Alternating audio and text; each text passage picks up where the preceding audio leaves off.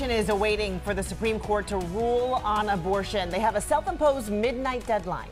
And joining us right now live, former Massachusetts Attorney General Martha Coakley with Foley Hoag LLP. And Martha, it's always great to see you. So, what do you think is going on with the High Court?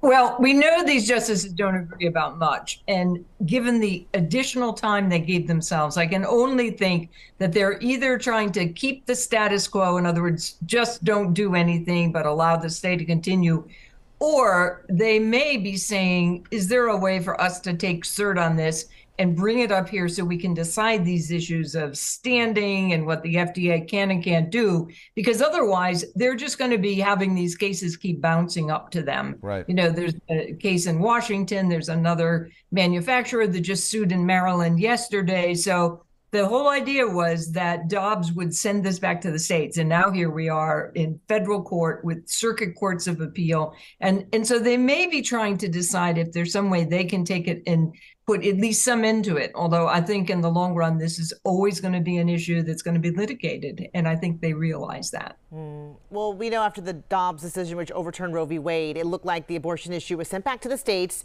So what does this mean now when we, we're talking about? You know, mifepristone and what's happening there. I feel like it's opening, you know, a can of worms, especially when it comes to drug, drug manufacturers and the confusion that this could lead to down the road. Sure. Well, it's regulatory chaos. Right now, it's also legal chaos. But in the short run, and we know because we've heard from a bunch of the farmer folks, pharma folk, pharmacy folks, that any drug that's already been approved by the FDA or any drug that's in the pipeline that's being tested could be brought into court to be tested. And so before the Supreme Court is that issue, you know, the the merits of this particular drug, is it safe or not, which the district court judge decided, one could argue unprecedented and he didn't have the authority to do it. But the Supreme Court could say there's no standing here, the statute of limitations is run. And by the way, we think the FDA has authority to do this and they should do it. Whether they'll do that in the short run, whether they'll do that at all, uh, we're still guessing. We're once again on a Supreme Court watch and it's really hard to predict what they're going to do.